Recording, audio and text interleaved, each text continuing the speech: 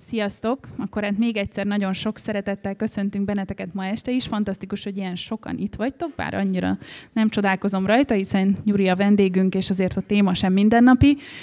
Ő lesz ma az egyedüli vendég, ővé lesz az egész este, azt hiszem sokunk nagy örömére. És hát Bánki Györgyör, Györgyről van szó, aki pszichiáter, magánzó, tanult kognitív viselkedésterápiát, hipnózis, pszichodrámát járt, analízisbe, drámára, katatim, imaginációs terápiára, emellett a 90-es években részt vett egy irodalmi kulturális folyóirat a Török fürdő szerkesztésében, illetve bizonyos ideig jelent meg a Csillagszálló című utcalapban rendszeresen írása, illetve manapság egyre több publicisztikája, emellett pedig a Színház és Filmművészeti Egyetemen olykor óraadó tanárként van jelen. Ehhez kötődően két korábbi előadását is megtaláljátok a YouTube csatornánkon, egyrészt a Taxisofőr, valamint a Shame című filmek elemzéséhez kötődően. Ma este pedig a hamarosan megjelenő a narcisztikus személyiségzavarról szóló könyvéhez kapcsolódva fog az gonoszság, az emberi gonoszság miben létéről beszélni nekünk, Filip Zimbardo kutatásához kapcsolódva, erre utal a cím is, a gonoszság technológiája, egy kis esti Zimbardo, fogadjátok sok szeretettel a színpadon Bánki Györgyöt. Sziasztok, én tegezni foglak titeket, ti nektek magázni kell engem, mert ez az előadás a gonoszságról szól. Azokat szólítottam meg vele, akik gonoszodni vágynak, vagy akik védekezni szeretnének ellene. Nem kérem azokat, akik gonoszodni szeretnének, hogy tegyék fel a kezüket, mert tudom, kik azok. És, és a többieknek meg sok sikert kívánok, hogy, hogy gazdagodjatok ebből, mert, hogy mondjam, olyan világ vesz körül minket, amiben nagyon könnyen válunk olyan valakivé, aki másokkal gonoszságot követ el, vagy fordítva, vagy velünk követhetnek el bármikor bárki gonoszságot. Ez az olyan világ, ez, ezt felejtsétek el, mindig olyan világot élünk. Ugye akire támaszkodom, a Filip Cimbárdónak a könyvét fogom mindjárt megmutatni nektek a borítóját.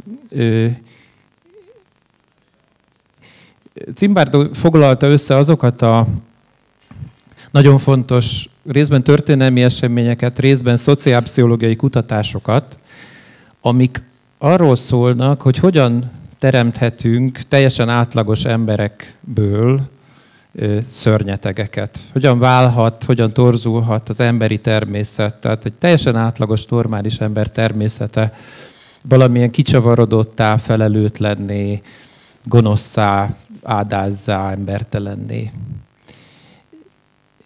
Ezt a könyvet az Abóvo adta ki azt hiszem 2012-ben, és most csinálok nekik egy kis üzletet, és akkor nem most induljatok el, mert most egy órát még beszélek.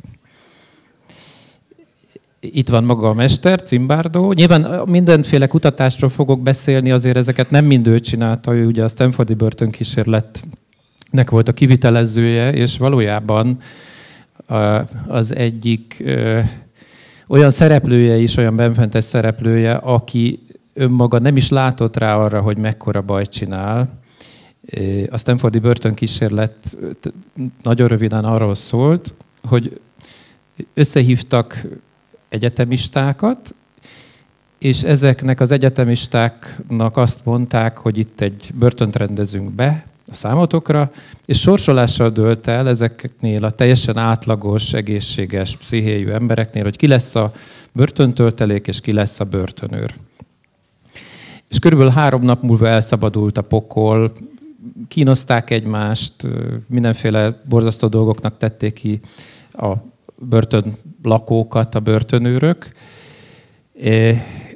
És maga Cimbardo azért került sajátos helyzetben, és erről nagyon kritikusan és pontosan ír a művében, mert ő vállalta a börtönigazgató szerepét. Tehát ő azt gondolta, hogy ez a szerep, ez elegendő már az ő kívülállásának a megtartásához, de nem volt elegendő. A Stanfordi börtönkísérletet nem ő, ő állította le végül, de a szándékot az hozta be, hogy megérkezett a szerelme, ránézett erre a dologra, és azt mondta, hogy Filip, ez szörnyű, ezt abba kell hagyni.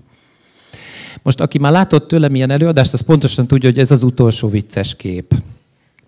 Tehát most ezt hogy jegyezzétek meg, ez ilyen vidám, és ami most jön, az elég kellemetlen és felkavaró, És én azt is szeretném kérni, hogy mivel egy nagyon mediatizált világban élünk, és nagyon sok csúnya képet látunk, nagyon sok szörnyűségről minden nap, ezért nagyon könnyen adódhat, hogy most a képek, amiket levetítek szándékosan az elején, amiket biztos sokan ismertek is, ezektől most könnyű távolságot tartani, pedig elég rondák. Mert megszoktuk, hogy emberek kínozzák egymást, ölik egymást, csúnya dolgok történnek, most terrortámadások zajlanak a világban. Én mégis azt kérem tőletek, hogy próbáljatok úgy ránézni a képekre, hogy valakire koncentráltok, és elképzelitek, hogy ha ti lennétek azok. Jó? És most ezt elkezdem akkor mutatni. Ezek az internetről szerzett képek nem túl jó felbontásúak, nem lövök le poént, ez Abu Ghraibból származik. 2004-ben kerültek napvilágra ezek a fotók, több ezer, talán tízezer körüli számban. Abu Ghraib egy iraki börtön Bagdadtól 32 kilométerre. Saddam Husseinnek volt a börtöne, az ő rendszere alatt oda vitték az ellenzékieket, és ott kínozták meg őket mindenféle módon, és hetente kétszer nyilvános kivégzést is tartottak, hogy tényleg legyen egy kis szórakozás.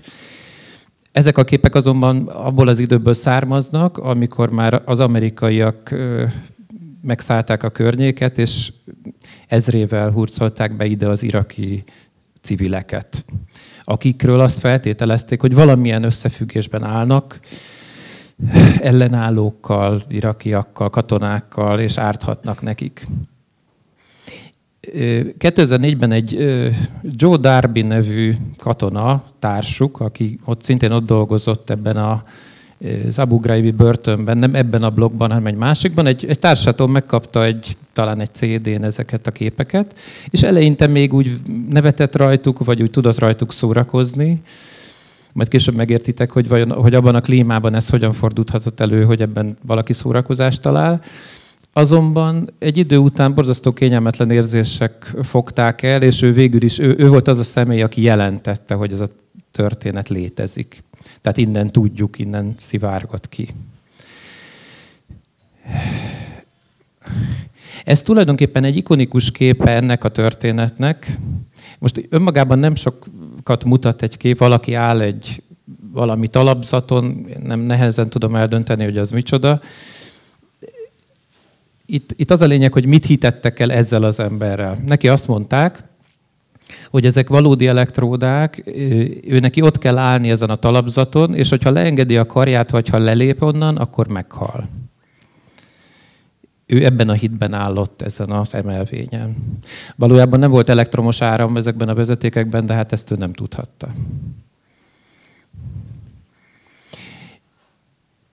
itt egész pontosan nem tudom, mi történik, de ez az ember fekáliával van bekenve és mesztelen.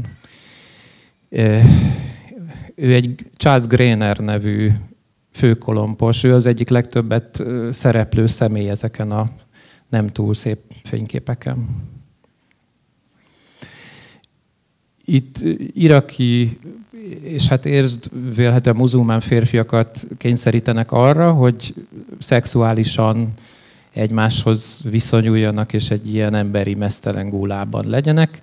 Ők egy szerelmes pár, tehát az említett Charles Grainer és egy Lindy England nevű hölgy, aki szintén fontos szerepet játszott itt az egyes áblokban történtekben.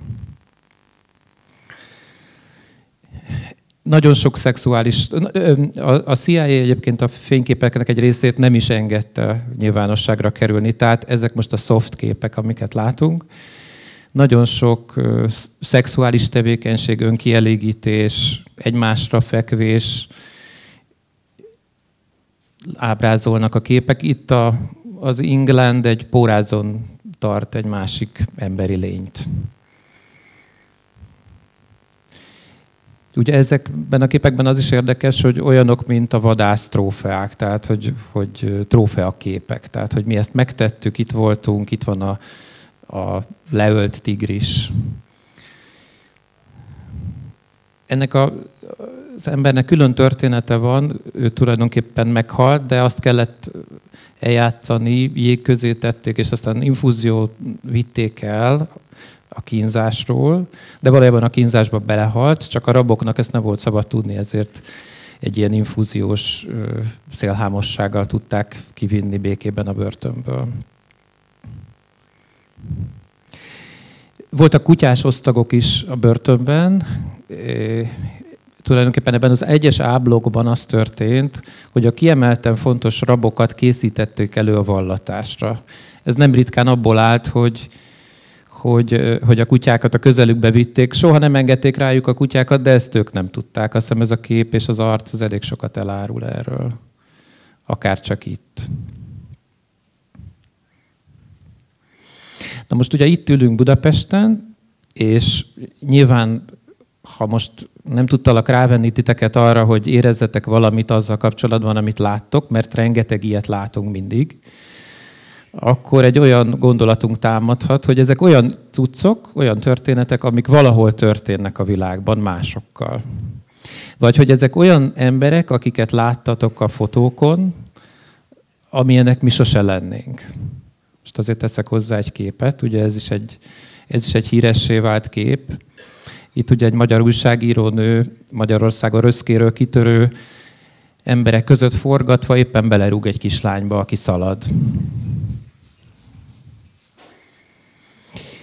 Most az az izgalmas kérdés, hogy, hogy most mit gondoljunk azokról az emberekről, akiket itt láttunk.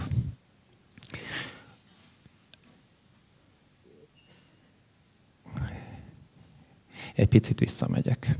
Én ehhez az Abu Ghraibhoz, Cimbárda nyomán mondok egy kis háttértörténetet, hogy ezek az emberek, akik ezt csinálták, akik így fotózkodtak, egy milyen helyzetben voltak benne. Ugye ez, a, ez az Abu Ghraib börtön, ez egy elég, elég hatalmas létesítmény volt, 24 őrtoronnyal, egy központi nagy toronnyal, és az volt a jellegzetessége, hogy már eleve, amikor, még mert az amerikaiak érkeztek, kifosztották, kirámolták, és ott meg lehetett találni az ellenzékiek kínzására használt elektródákat, ellenzékiek kutyák által széttépett tetemét, Szóval eléggé hangulatos hely volt. Először arra gondoltak, hogy bezárják, aztán végül nem zárták be, hanem arra gondoltak, hogy talán praktikus lesz, hogy egyrészt itt állomásoztatunk katonákat, másrészt behozzuk azokat a civileket, akik gyanúsak, vagy tudhatnak valami számunkra fontosat. Ebből azt, azt következett, hogy hogy elkezdték százával bevinni a civileket, de ezt úgy kell elképzelni, hogy nem férfiakat, hanem férfiakat, nőket, gyerekeket, öregeket, mindenkit és hamarosan, mivel az egyik parancsnok effektíven megbolondult, már zuhanyozni is csak golyáló mellényben tudott, és leszerelték, egy olyan vezetőt kapott ez az Abu Ghraib, aki egy hölgy volt, és aki gyakorlatilag onnantól nem nagyon tette be oda a lábát, tehát nem felügyelte az ott zajló dolgokat. A maga a létesítmény egy olyan helyen feküdt, ahol körben toronyházak voltak, irodaházak, aminek a tetejéről orvlövészek gondtalanul lőtték a katonákat. Tehát ők folyamatosan golyózáporban voltak, nagyon sokan meghaltak, amikor ilyen puha terepen, tehát az udvaron sátraztak, akkor a gránáttal lőtték őket, orvlövészek voltak. A behurcolt irakiaknak rengeteg iraki börtönőrt is alkalmaztak, és a behurcolt irakiaknak az iraki börtönőrök bevittek fegyvereket. Tehát ebben a börtönben úgy ment az élet, hogy nem tudhattad, hogy akivel együtt dolgozol, az nem vitte be az egyik rabnak olyan fegyvert, amivel egyébként meg fog téged támadni. A központi tornyot úgy lebombázták, hogy az egész el, mindent elborított a törmelék. Egy idő után már nem volt semmit értelme építeni.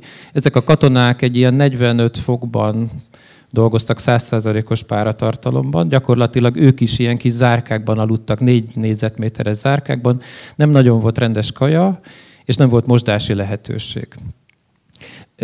Fredrik őrmester, aki az egyik fővádlottja volt aztán a pernek, ami ennek nyomán kialakult, vagy elindult, ő volt egy olyan időszak, hogy 40 napig nem volt szabad napja. Napi 16 órát dolgozott, és aztán bement egy zárkába, ahol bogarak voltak, büdös, por, és semmilyen lehetőség arra, hogy ő, mint egy emberi lény, valamilyen módon regenerálja, és egybe tegye magát. Ezen a helyen, ugye itt vallották a foglyokat, ami gyakran kínzásból állt, és nagyon sok szolgálat dolgozott, CIA-sok, különböző katonai szolgálatok egyebek, akik nem viseltek jelzést. Nem lehet tudni, hogy kicsodák, jöttek, mentek, egy-egy megkínzott, fogvatartott meg is halt menet közben, és ezek a katonák ezt látták, tehát hogy, hogy itt tulajdonképpen az volt a norma, hogy, hogy kínozni kell, előkészíteni a kínzásra, illetve a fogvatartottak bele is halnak. Na most miután ö, volt egy rendes paranoia a vezetésben, hogy nem lehet tudni, hogy tényleg ki az értékes fogolya, akinek van valami hasznos információja, ezért nem is nagyon engedtek el embereket. Tehát vitték be százával ugye a mindenféle korosztályú irakit, civileket, nagyrészt nyilván ártatlanokat, akik semmit se tudtak, viszont nem engedték el őket. Tehát egy cellában voltak, egy ilyen kicsi cellában mondjuk tizen, vegyesen mindenféle nemű, korú emberek. Tehát ez tulajdonképpen maga volt a, a pokol. Most ezt, és ezt még lehetne mesélni, csak az idő hiány ezt nem fogom, de csak azt akarom mondani, hogy vajon, ha most magunkban nézzünk, és elképzeljük ezt a szituációt, amiben ezek az emberek hónapokig voltak, amiben teljesen elvesztették a, hogy mondjam, azokat az emberi körülményeket, még a maguk számára is, nem csak a foglyok számára is vesztek el ezek a körülmények, amiben valaki emberként, individuumként, önmagaként tud létezni, hogy vajon megváltozik-e a véleményünk a fotókról. Nem kötelező, csak ez a kérdés felvetődik.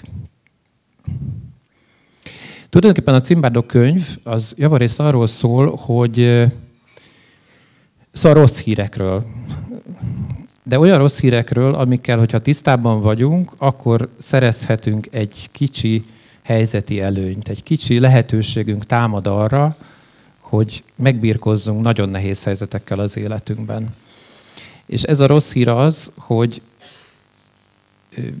Cimbárdó ezekkel a rabokkal aztán beszélt, megvizsgálta az életútjukat, találkozott velük, és az derült ki, hogy ezek nem betegek, tehát nem személyiségzavarosak, nem őrültek, nem gonoszok, eredendően rendesen szolgáltak valahol, csináltak valamit, voltak dolgaik, egyet, egynek, kettőnek, de lényegében teljesen átlagos, normális emberek voltak, akár csak a Stanfordi börtön kísérletében.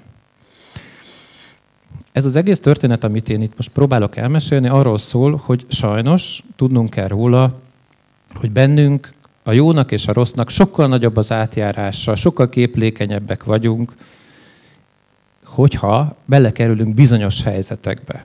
Ebben a helyzetben, amiben most ülünk, most bizonyára azt gondoljuk, hogy mi nem így reagálnánk egy helyzetre. Velünk ez nem történhetne meg se pro, se kontra. És sajnos, mint azt majd mindjárt megvilágítjuk más kutatásokkal, azt kell mondanom, hogy jó, ha tudunk róla, hogy de.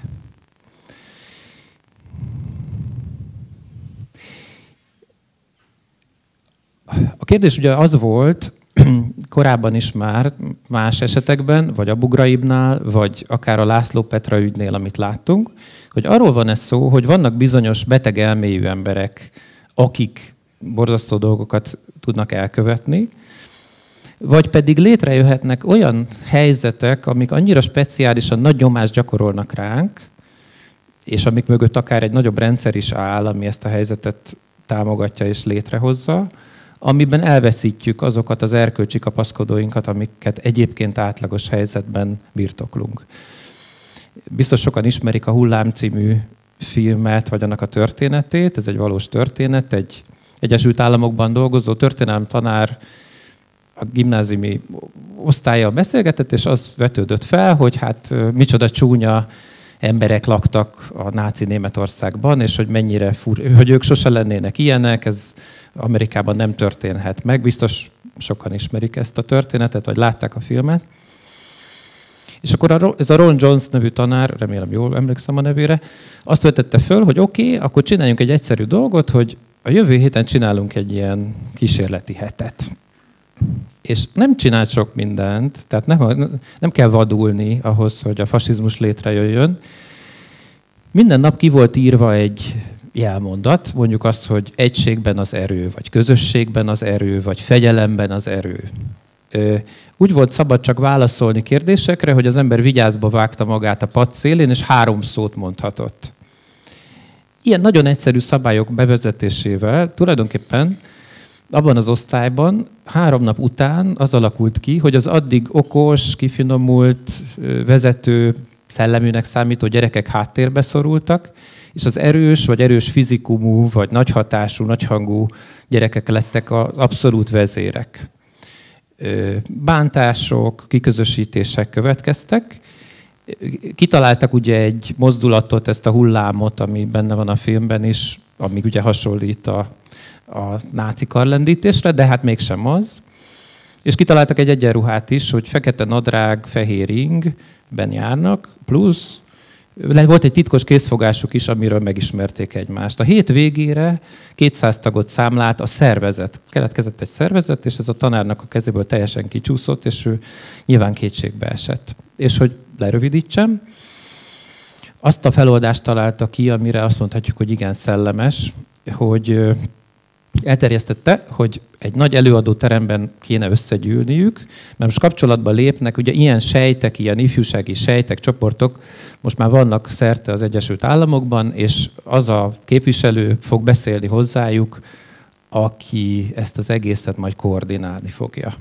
És ők ott voltak őrök, és, és beültek, és iszonyú lelkesek voltak, és, és fehéringben voltak, tehát egyenruhában voltak, kész, tehát felállt a fasizmus, és akkor ez a tanár mondott nekik egy beszédet arról, hogy látjátok, hogy ezt mennyire egyszerű létrehozni, és a Nürnbergi nagygyűlésekről és egyéb a fasiszta kultúrához tartozó dolgokról vetített le nekik filmeket. Így ért véget ez a történet.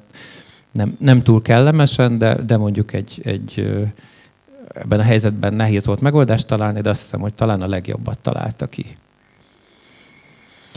nem nagyon megkerülhető Stanley Milgramnek a 61-62 körül végzett kísérlete, amit biztos sokan ismernek, és akinek a könyökén jön ki, attól elnézést kérek, akinek nem jön ki még a könyökén, az még tartsa bent.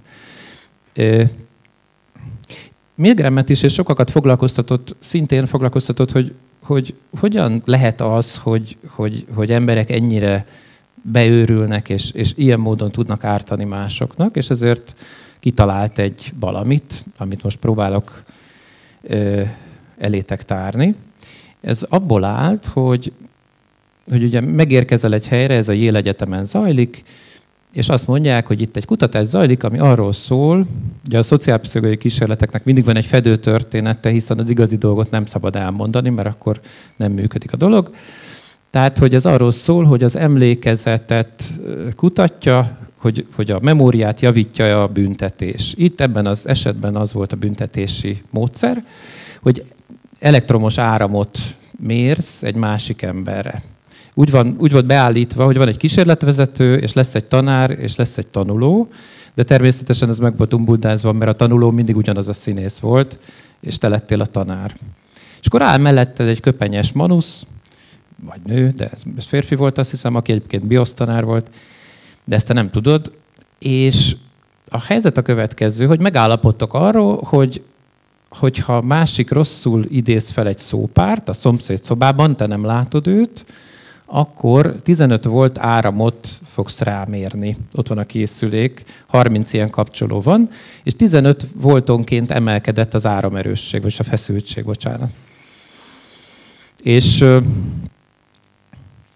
minden hiba után egyel nagyobb kapcsolót kell bekapcsolni.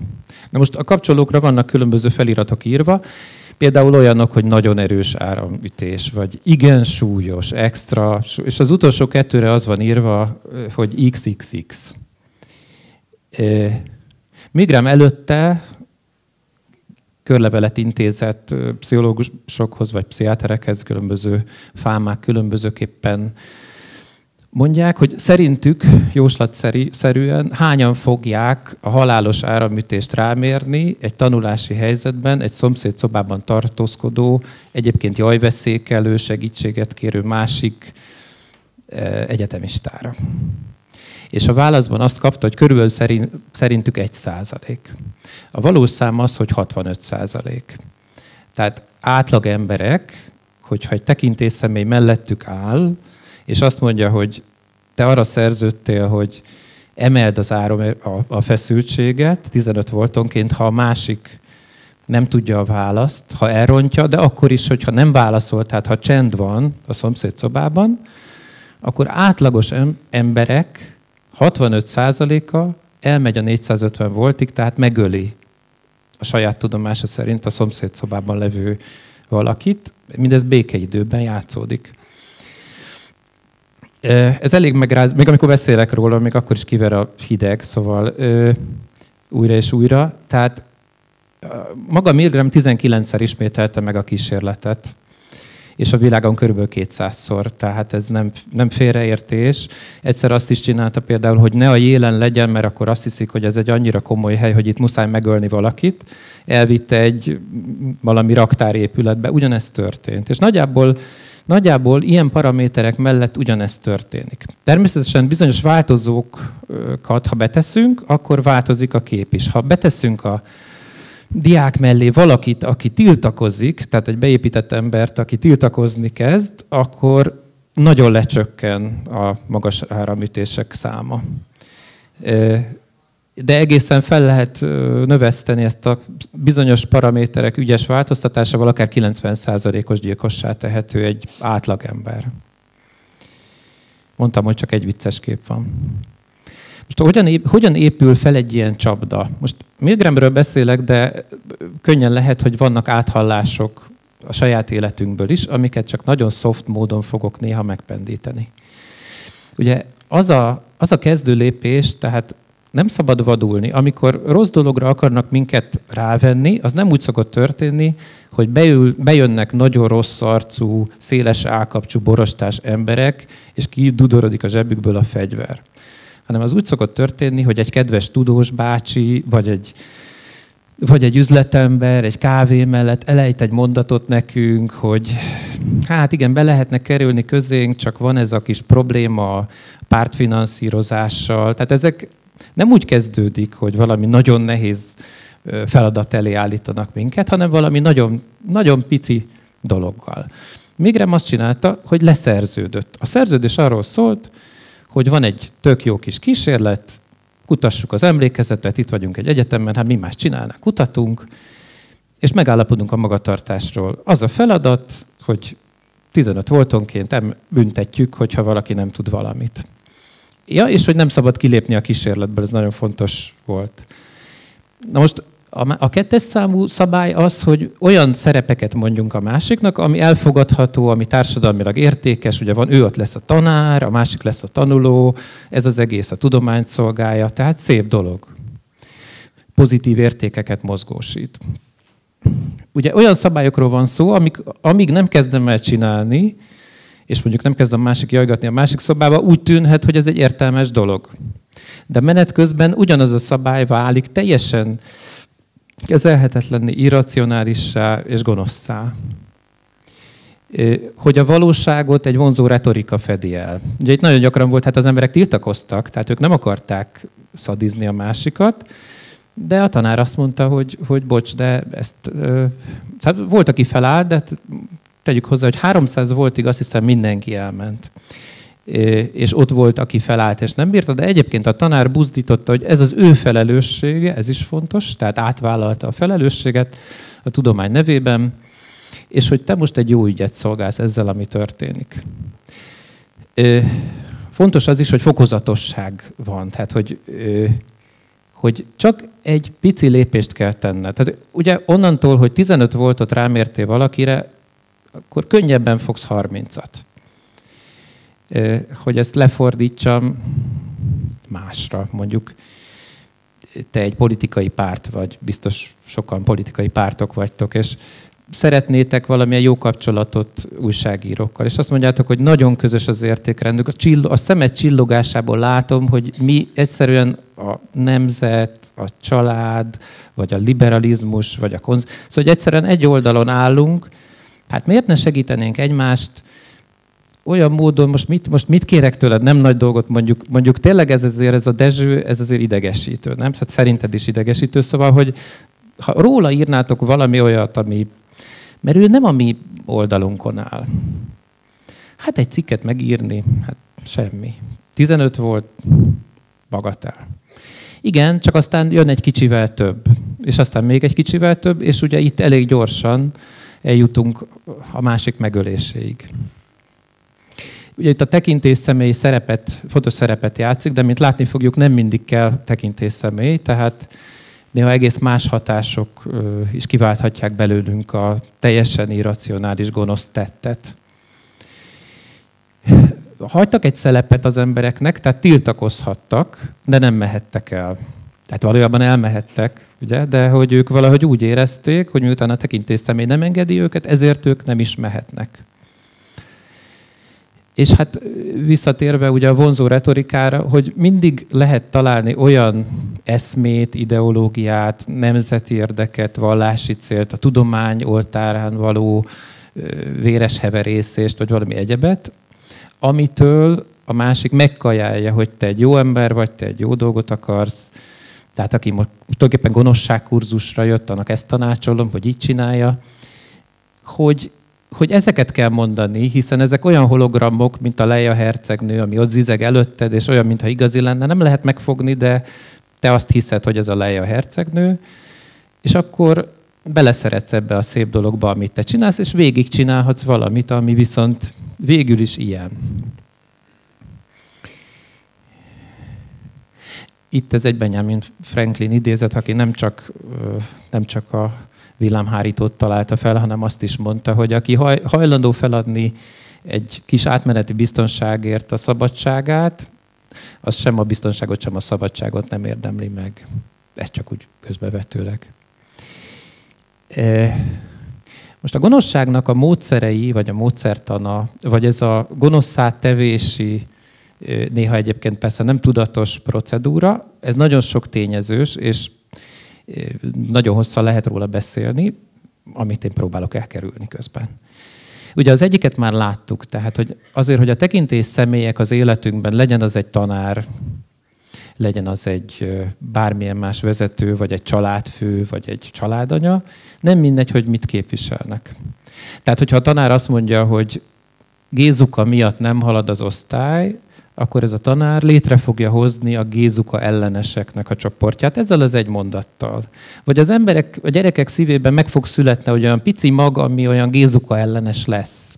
Mert hogy a gézuka valahogy őket is, tényleg már nekik is eszükbe, ez a gézuka azért nem frankó gyerek, mert, mert tényleg nem haladunk, és, és akkor így a, az osztály átlag is, meg minden.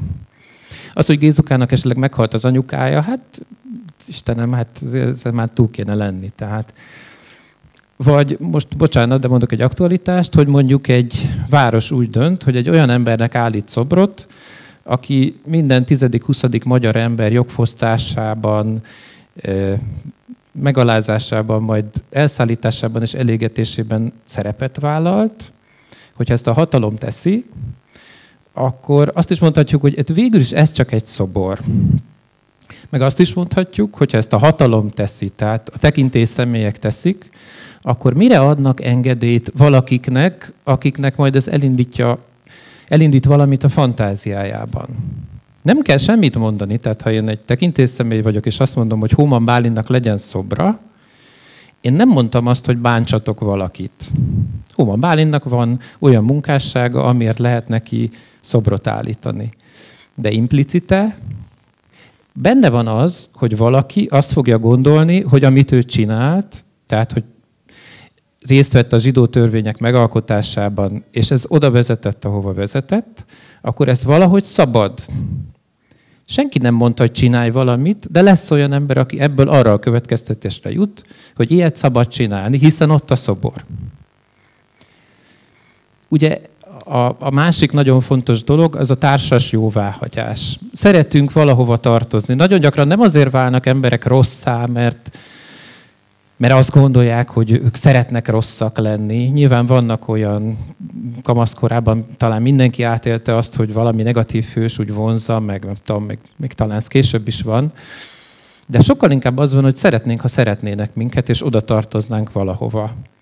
Tehát a terrorista az nem rosszat cselekszik, hanem az, azt elfogadja egy közösség, ő a mennybe jut, az összes családtagja a mennybe jut, és ő elpusztít fölösleges és rossz embereket. Tehát nem az, szó sincs róla, hogy ő valami rosszért cselekedne.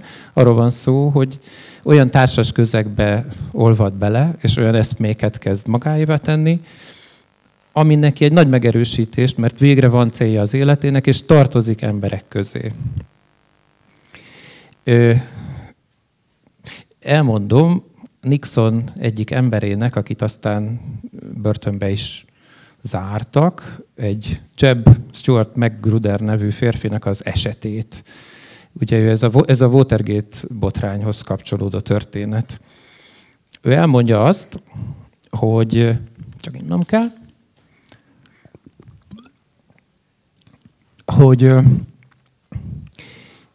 találkozott Nixon, Nixon újraválasztását segítő kampányvezetőjével, akinek most nem jut eszembe a neve persze, és egy nagyon szép környéken, tehát olyan helyen találkoztak Kaliforniában, hogy őrület, és ez a fickó őt feldicsérte, és nagyra tartotta, és, és oda volt érte, és hát ő egyre boldogabb volt, és, és ez a fickó azt mondta neki, hogy, hogy, hogy benne vagyunk a történelemben. Szeretnél benne lenni? Szeretnél benne lenni a történelemben? Szóval, hogy, hogy elkezdte ezeket mondani, és ő érezte, hogy tehát ha valahol szeretne lenni, az a történelem. Ő nagyon szeretne.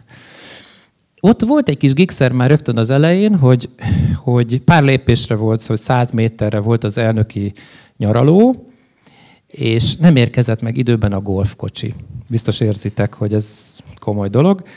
És ez, a, aki udvarolt neki, ez úgy lecsűrte azt, aki a golfkocsival nem érkezett meg, hogy az tényleg vérlázító volt, de akkor helyre tette a fejében meg Ruder, és azt gondolta, hogy de ahol ennyire tökéletes minden, ott lehet, hogy zavaró, ha nem érkezik meg a golfkocsi.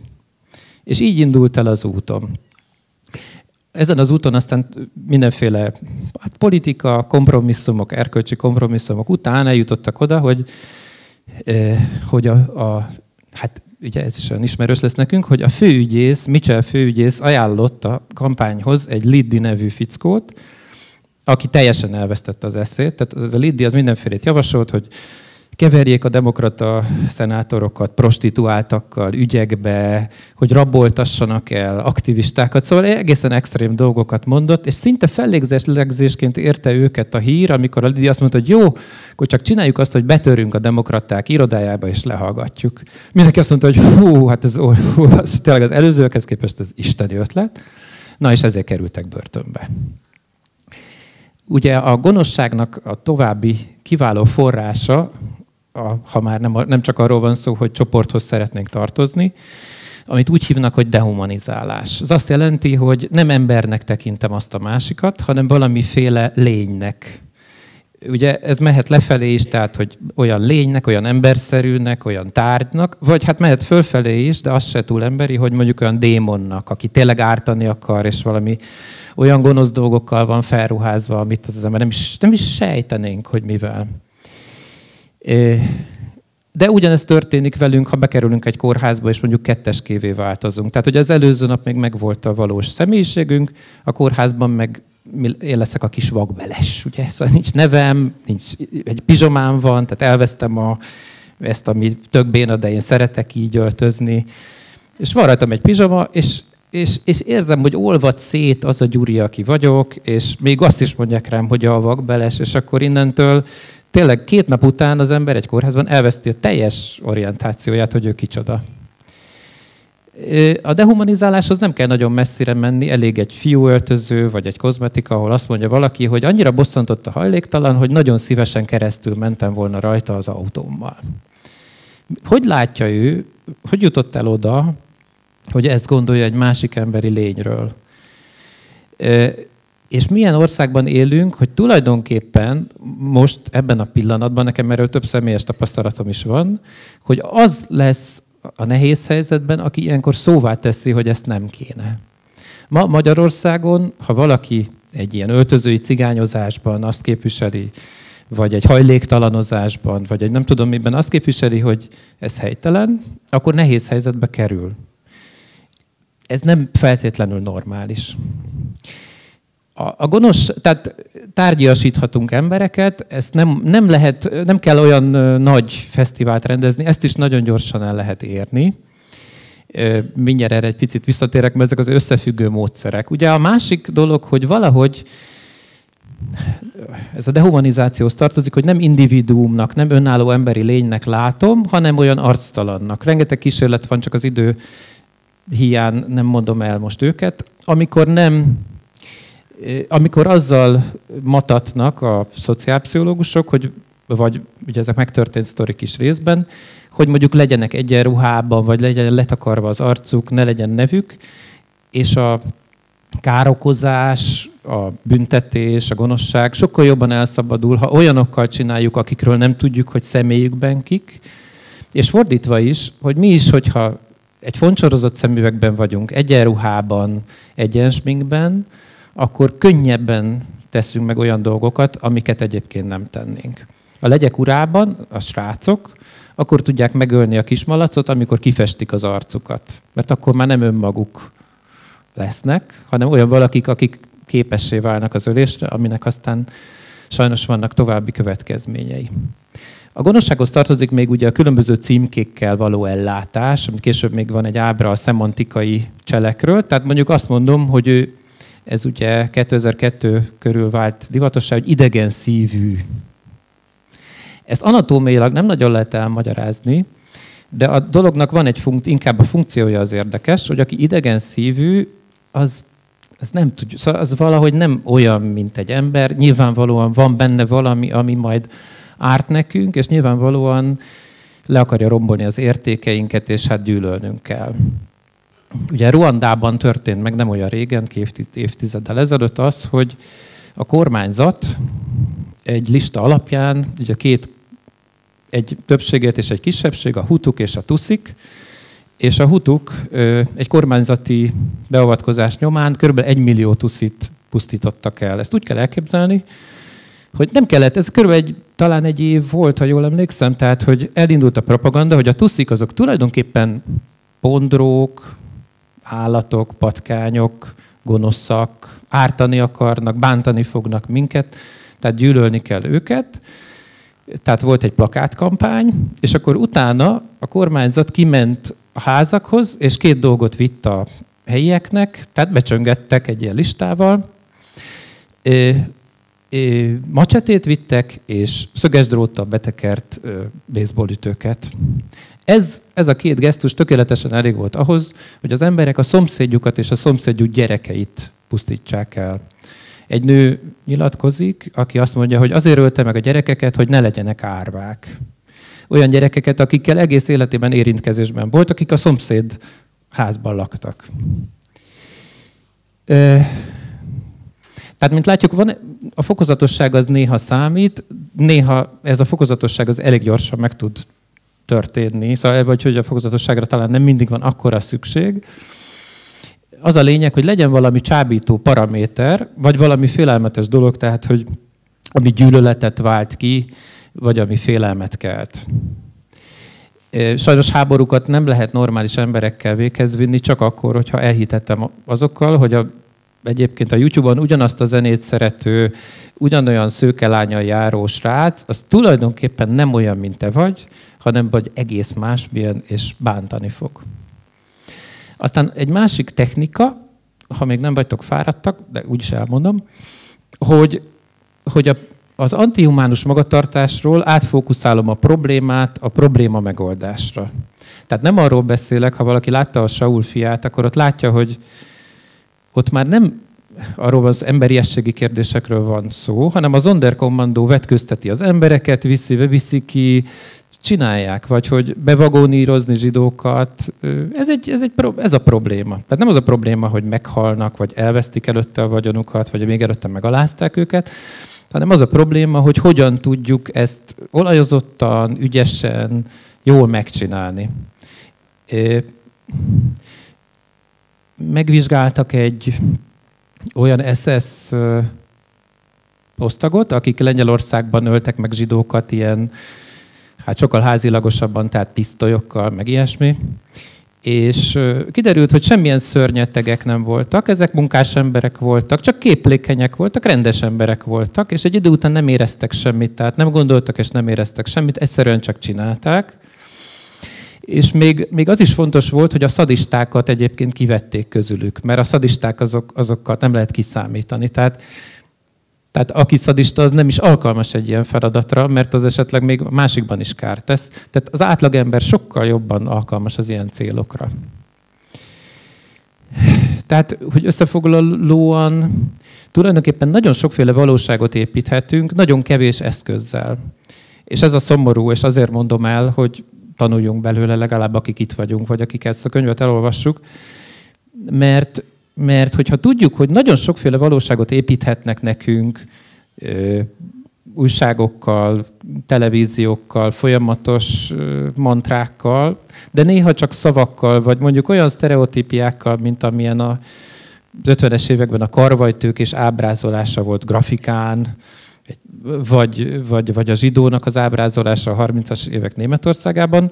Szóval ezekkel a nagyon egyszerű pár képpel, pár foszlánya, pár szóval létre lehet hozni egy egész rettenetes történetet.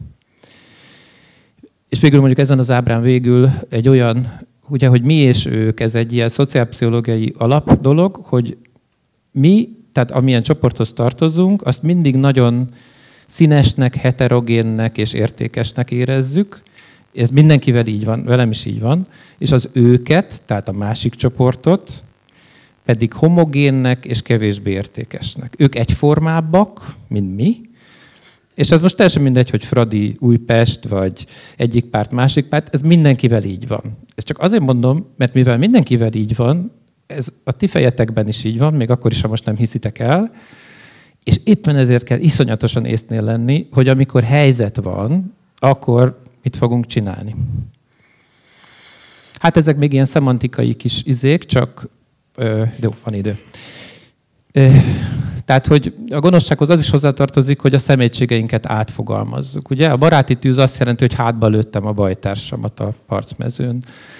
A jelzés nélküli ellenséges harcos azt jelenti, hogy egy civil töltem meg, aki nem volt katona. A békemenet, és elnézést kérek, ha ez valakit érzékenyed érint, azt jelenti, hogy, hogy a rosszat és a jót szeretnénk megkülönböztetni, és azt gondoljuk önismeret helyett, tehát anélkül és a helyett, hogy azon gondolkoznánk, hogy az én fejemben, az én kubakomban, az én csoportomban mi a jó, és mi a rossz, hogy mire vagyok hajlamos, és mit kéne megjavítani magamban, azt mondom, hogy a rossz az kívül van, vagy közénk fészkelődött. És ezért én megkülönböztetem magamat, és én leszek a jó, és mi leszünk a jók, és küzdünk a rossz ellen, akik kívül vannak. Ez egy elég veszélyes történet. És mondjuk itt vannak az idegen szívűek is. Picit ugrom az idő, mert vannak fontos dolgok. Talán azt mondanám, hogy ezt Áronzon fogalmazza meg az önigazolásról szóló könyvében nagyon kiválóan, hogy ugye gyakran azt hisszük, hogy, hogy hogy azt hisszük el, amit látunk, de valójában azt látjuk, amit hiszünk. Mondok egy példát erre, ez most nem a gonoszsághoz tartozik, hogy van egy kuncsaftom, aki járt hozzám egy igen zaklatott állapotban, és egy régi szobában volt, és föl, föl, fölnézett a fejem fölé, ott volt egy festmény, és azt mondta, hogy Gyuri, hogy teheted ezt az emberekkel? Tényleg egy ilyen képet, de olyan nyomasztó, hogy én mindjárt kimegyek. Tehát kész volt. Jó, valahogy megnyugodtunk kép, hát nem vettem le a képet, minden. Két hónap múlva egy jó állapotban beült, és azt mondta, te, ez olyan gyönyörű ez a kép, ez, ez itt volt? Hát mondom, figyelj, igen, ez az a kép, amir ő, ő soha nem mondott ilyet. Azt látjuk az életben, amit eleve hiszünk. Ugye volt most az Indexen egy cikk, ami arról szólt, hogy volt egy karakter, és öt fotósnak öt különböző sztorit mondtak, hogy ő kicsoda, és minden fotós úgy fotózta, ami annak a sztereotípiának felelt meg, amit eladtak neki. Ez a helyzet. Ezek a helyzetek, amikről beszélünk, nem átlagos helyzetek.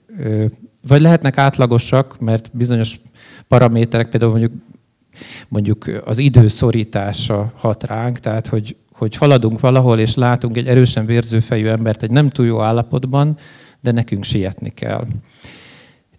De, a, de a, a, amikről beszéltem, azok zúzósabb dolgok, totális helyzetek, amikor valamilyen hatalom, vagy a helyzetnek valami óriási nyomással nehezedik ránk, vagy nagyon elveszítjük a fonalat, hogy kik vagyunk, és ezeknél iszonyatosan észnél kell lenni, hogy, hogy megőrizzük az egyensúlyunkat, és ezt el kell ismerni, hogy ez nagyon gyakran egyikünknek se sikerül, vagy nagyon kevés embernek. A kontrollt azért hoztam be ide, mert tulajdonképpen a totális helyzetek ellentétet, ellenszere az a kontroll lehet. Most mondok egy példát, vagy kettőt, csak hogy értsétek, hogy mire gondolok itt. Hogyha az ügyészség úgy dönt, hogy neki kell valaki, akiről kiderítik, hogy elkövette a nem tudom egy gyilkosságot. Vegyük például ezt, hogy Kajzer Edére ugye rábizonyították látszólag a Móri mészárlást, miközben ő nem volt ott és nem csinálta. Ugye ez az ügyesség volt, vagy a rendőrség, most nem vádaskodni akarok, csak ez most eszembe jutott. Tehát az ügyesség úgy dönt, hogy ki akar csikarni belőlünk egy vallomást, de abban a szobában, ahol kihallgatnak minket, nincsen kamera, és nincsen olyan független szerv, aki ezt megnézheti ezt a felvételt, akkor nagyon könnyen úgy találhatjuk magunkat, hogy azt mondjuk, hogy megtettük. Ha van kontroll az életben, és a társadalmunkban, és az intézményeinkben, és az intézményeink egymást is tudják ellenőrizni, és ha van kamera egy ügyészségi kihallgatóban, akkor ennek a lehetőségét jelentősen csökkentjük, hiszen lesz valaki, aki megnézheti hogy mi történt ott, amikor mi azt mondtuk, hogy mi tettük, miközben nem mi tettük. Most mindenkitől nagyon elnézést kérek. Egy film részletet fogok bevágni, és két bibi van. Az egyik, hogy ez egy filmnek a vége, tehát aki nem látta, az nem tudom, csukja be, szorítsa össze a fülei, füleit, így elő csomózza össze, vagy valami. A film az Polanskinak a Halál és a Lányka című filmje. Nek a vége nem a, nem a leges legvége, de mondjuk tényleg a vége. Amikor kiderül az, ami neki kell derülnie. És még egy pek van, hogy nincsen rajta a felirat, és mindenkitől elnézést kérek. Tehát most angolul fog menni, nagyon remélem, hogy ez nem okoz gondot. A helyzet az, hogy ez egy meg nem nevezett dél-amerikai országban játszódik, Paulina hazavárja a férjét, és közben a rádió bemondja, hogy az előtte levő fasiszta időszakban lezajlott kínzások egyik kivizsgáló bizottságának lett a férje a vezetője.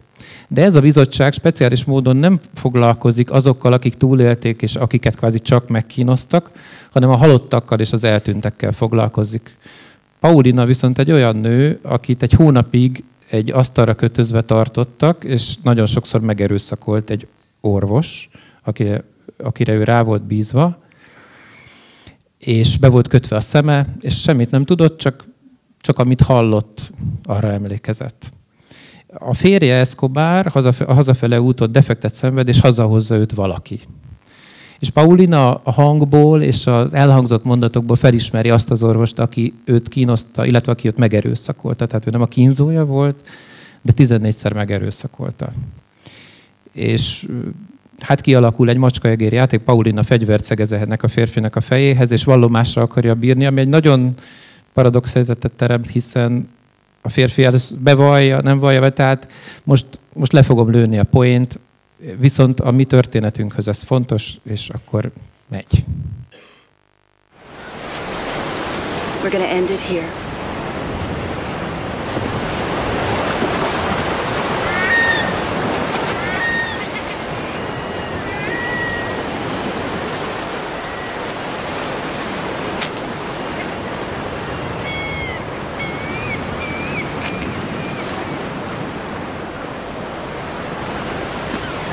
Look at me. Isn't it bright enough to see me? Don't you know me? Didn't you tell me your ugly thoughts? Didn't you tell me your secrets? Yes. Didn't you rape me? Didn't you put your cock in me? Yes. How many times? Many times. I raped you many times. 14 times. You played music?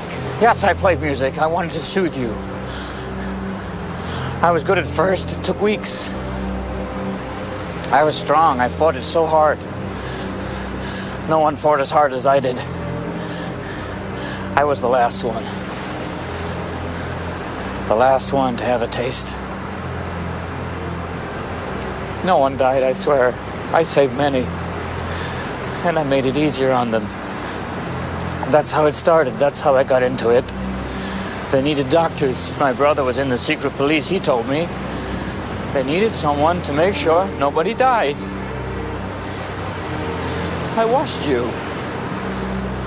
You soiled yourself. You told me I'm dirty and I washed you clean. The others egged me on. Come on, doctor, you're not going to refuse free meat, are you? I couldn't think straight.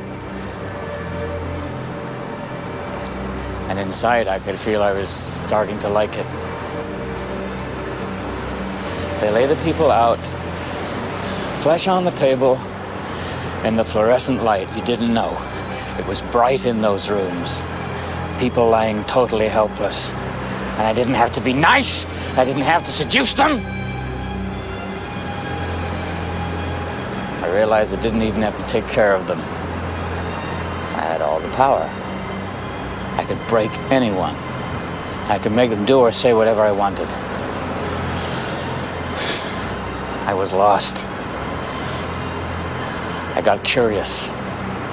Morbid curiosity. How much can this woman take? What's going to happen to her vagina? Does it dry up when you shock her? Can she have an orgasm afterwards?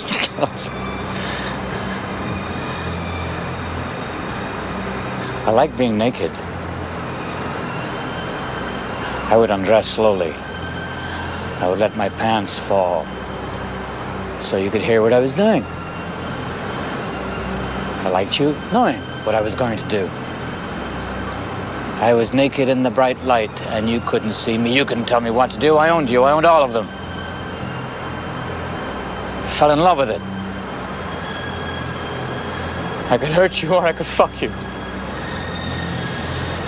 And you couldn't tell me not to. You had to thank me.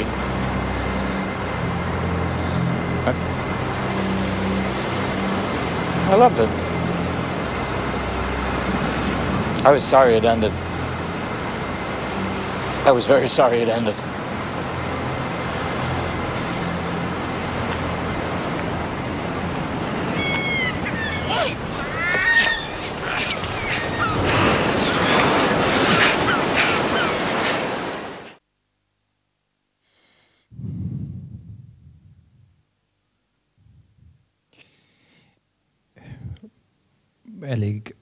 Elég megrázó film, és talán még akkor is érdemes megnézni, ha nem láttátok, annak ellenére, hogy ezt most megmutattam. Az idő rövidsége miatt egészen a végére ugrom, pedig mennyi minden mondani való lett volna. Cimbárda összeszedte azokat a szempontokat, amik segíthetnek nekem, nektek, bárkinek abban, hogy hogyan kerüljünk el olyan csapdákat, amik akkor keletkeznek, hogyha megcsúszunk egy olyan irányba, ami könnyen gonoszságot, irracionális viselkedést válthat ki belőlünk, más ártalmára lehetünk, úgy, hogy talán nem is veszük észre az elején olyan könnyen, hogy ez micsoda, és talán ebben a három percben, ami maradt, hát megpróbálom ezt nagyon röviden összefoglalni. Ez nem az én alkotásom, de egy nagyon jó összefoglaló. Ugye a gonoszság útján nagyon gyakran az önigazolás visz tovább minket, mert az önigazolásunk egy sokkal nagyobb métej az életben, mint az, hogy hibázunk. Mert hibázni mindjárt hibázunk, csak az a baj, hogy amikor hibáztunk, akkor gyakran meg is mondjuk, hogy miért hibáztunk, és miért volt helyes. Tehát az egyes lépés az, hogy ismerjük be, hogyha valamit elrontottunk. Ez, ez egy jó tanács, azt hiszem. A másik dolog az, hogy nagyon legyünk körültekintőek, amikor belevisznek, vagy elindulunk egy helyzet felé. Legyen az pénzkeresés, legyen az valamiben való részvétel, legyen az az, hogy egy, egy olyan helyzetben, amikor nem ér a nevünk, mint itt Miranda doktor esetében, amikor nem látják őt, ki van kötözve a nő, és hetekig ellenáll neki, és aztán egyszer már nem áll ellen a kísértésnek. De hát ez egy nagyon súlyos dolog, de ennél sokkal egyszerűbb történetekről beszélek valójában, sokkal hétköznapibban van itt velünk ez a csábítás.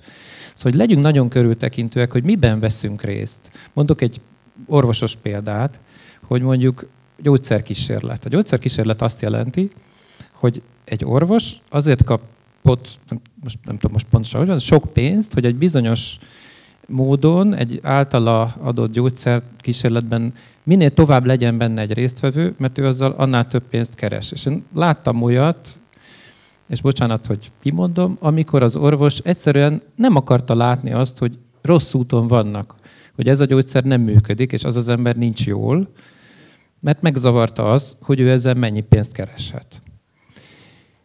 A hármas szempont az a körültekintés után, hogy vállaljunk felelősséget.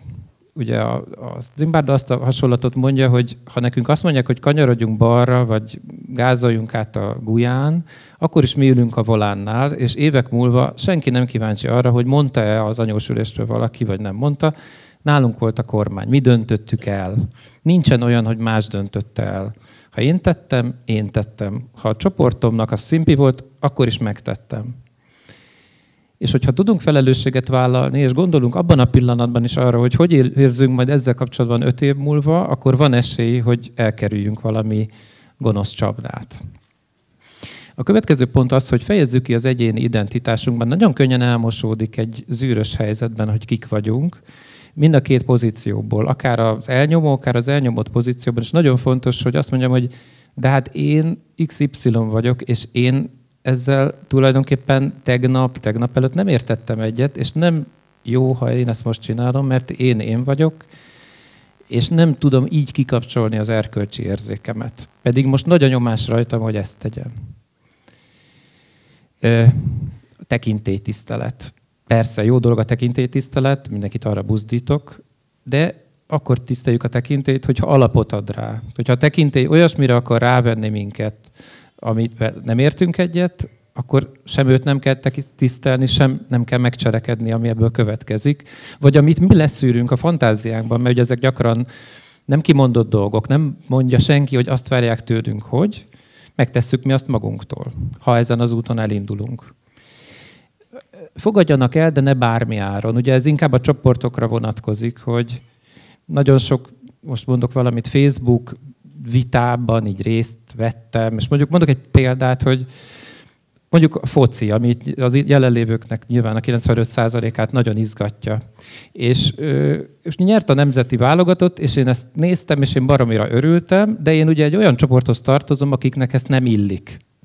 És akkor, tehát hogy ma Magyarországon, és mindenütt a világon van ilyen szitu, minden egyes kérdésnél meg kell vizsgálni, hogy lehet, hogy én nem leszek népszerű azzal, amit mondok az én csoportomban, mert most, hogyha a miniszterelnök nem túl támogatja a focit, akkor attól én még szerethetem. Tehát, hogy mondjam nektek, minden kérdés egy új kérdés. Minden szituációban én benne vagyok, és én eldönthetem, hogy mi a viszonyom hozzá. És nagyon egyszerű lenne mindig a csoportom színezetei és szónoklatai szerint működni, de nem, de nem lesz könnyű rávenni. Vesz, részt veszek a szabályalkotásban, ez egy rendkívül fontos kérdés, és főleg a mi országunkban. Tehát, hogy olyan módon történnek, olyan módon állnak fel az életünk keretei, olyan módon csúszik minden valamerre, hogy gyakorlatilag azt éljük meg, és ez nyilván egy több évtizedes, sőt talán egy egész történelmet mondjuk azt a magyar történelmet felölelő hagyomány, hogy nincs beleszólásunk alapvető dolgokba, és ez nem igaz. Vannak ügyek, amiket igenis végigvihetünk, vannak dolgok, amikre van befolyásunk, azt meg kell nézni, hogy kinek mennyi ez az ügy, és mi ez a kartávolság, amiben ő hatni tud. De borzasztó fontos, hogy részt vegyünk a szabályalkotásban, különben ezek a szabályok vagy kedvezni fognak nekünk mások kárára, vagy fordítva, de nem lesz jó, tehát nem egy win-win szituáció lesz, hanem egy win-lose szituáció, aminek a végén lose-lose szituációk alakulnak ki. Mit jelent az, hogy kiegyensúlyozott időperspektívára törekszem? Ezt már említettem, ez azt jelenti, hogy, hogy igen, most ebben a pillanatban itt vagyok a partin, és a Feri nagyon jó képű, és mondta, hogy menjek fel a szobájába, most mondhatnék Mancit, vagy izét, de nekem, én szeretek valakit. És holnap is szeretném, ha szeretném ezt a valakit. És én felmehetek, mert nekem most az jó lesne, vagy Miranda doktor, ott, ott vagyok, és ott a nő, és ki van, tényleg semmi, nem kell udvarolni neki, hogy el is mondja itt a vége, nem kell udvarolni, nem kell semmit csinálni, megdughatom. Sőt, drukkolnak nekem a társaim, hisz nekik az lenne a jó, az ő bűntudatokat akkor csökkentem, ha én is megteszem, amit ők megtesznek. De ilyen ember vagyok? Ilyen ember voltam két hete? Ilyen szeretnék lenni tíz év múlva? Ez ezt jelenti. Ez is nagyon fontos, hogy beáldozhatjuk-e a jogainkat, a szabadságjogainkat, a személyiségi jogainkat, ha arra kérnek minket. Ugye ezt, ezt elég szellemesen úgy fogalmazzák meg a szerzők, hogy Általában ez a kérés, ez előre van, ez bianco. Tehát amikor én lemondok a szabadságjogaimról, hogy beleavatkozhassak például a családom, a közösségem vagy az országom ügyeibe, azt előre kérik. Különleges jogosultságokat kaphatnak a titkos szolgálatok, a rendőrség, nem tudom micsoda. De ezt előre kérik azért, hogy egyébként ott rosszul írtam, mert a biztonság illúziójáért akar. Szóval azért kérik, hogy majd ez biztonságot ad, csak az a nap nem jön el, amikor én a biztonságot cserébe megkapom. A szabadságot mindig előre kell feladni, a biztonság pedig vagy meg lesz, vagy nem. És itt van még ez is, hogy szembeszegülök az igazságtalan rendszerekkel. Ez kezd olyannia válni, tudom, mint az úttörők 1200 pontja, de de valójában erről van szó. Tehát ha valami igazságtalanságot látok, akkor valamekkora hatásom lehet arra, hogy ez ne legyen, vagy helyteleníthessen. És lehet, hogy zárszóként, hogy lehet, hogy az én csoportom a világ legjobb csoportja, tényleg ott vannak a legjobb fejek, velük értek együtt, egyet a legtöbb dologban, de nem árt, hogyha néha valamilyen távolságot tartok ezektől a dolgoktól. Ez egy induló szett, ez arról szól, hogy vannak helyzetek, amikor minnyáján ki leszünk téve az életünkben, remélem, hogy nem történelmi léptekű kérdésekben, hanem csacsi, apró, banális dolgokban, olyasminek, ami minket rosszabb emberé tehet, még később a magunk szemében is, és abban bízom, hogy ezeket meghallgatva egy picit könnyebb lesz ezeket elkerülni. Köszönöm a figyelmet.